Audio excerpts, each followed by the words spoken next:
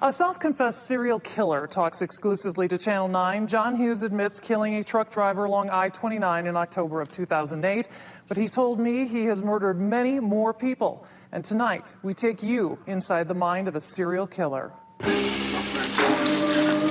don't think like normal people never have. I've racing with thoughts. It's been that way since I was a kid, constantly.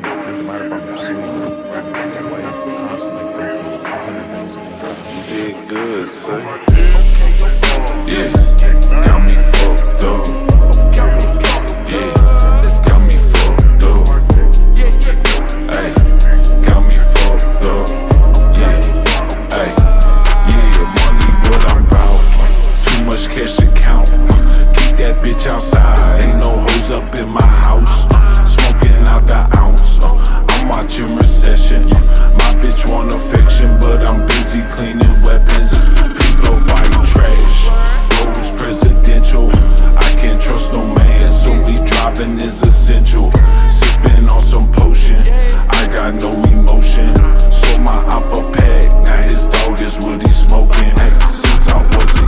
and I've been moving like a mag. Uh, fucking up a sag.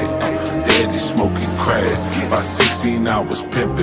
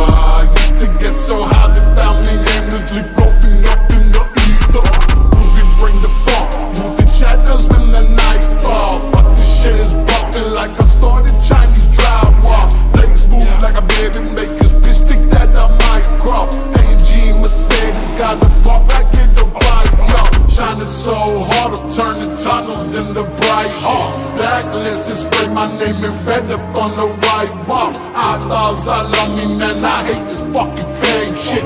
Caught in broad daylight, fuck, it's too late. I can't shake shit. Always looking down.